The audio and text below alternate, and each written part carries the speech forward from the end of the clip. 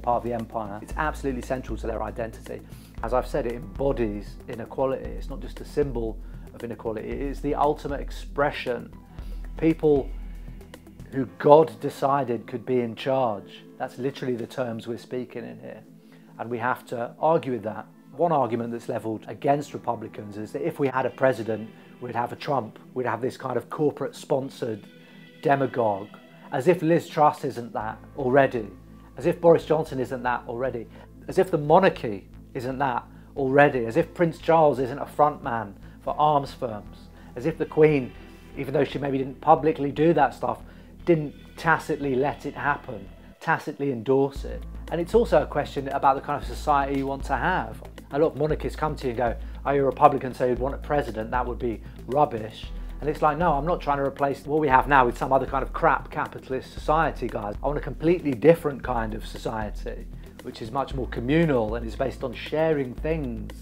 I mean, if I had just inherited billions and billions of pounds, massive amounts of land, gigantic amounts of privilege, at the point when the country I claim to serve is about to plunge into an energy crisis, is in the midst of an escalating cost of living crisis, I would probably put my hand in my pocket and cough up and pay for some things.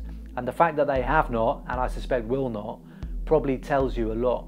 And you should think about that because these people aren't like you. They believe they are appointed by God or their genes to rule over you. And I think this is exactly the time amid all those colliding crises to start thinking about that. All the questions which concern people who are interested in justice and equality, they all at some point run smack bang through the middle of the British monarchy and we have to take it into account. We can't just circumvent it or shy away from it or because one of them's died take our foot off the gas because that is precisely the time to critique rather than just allowing the kind of accession to roll through. People are literally starving. Pensioners will die this winter because they can't heat their homes. And I think it should really bring that into relief. But of course, there is a problem. The British disease is deference, deference to power.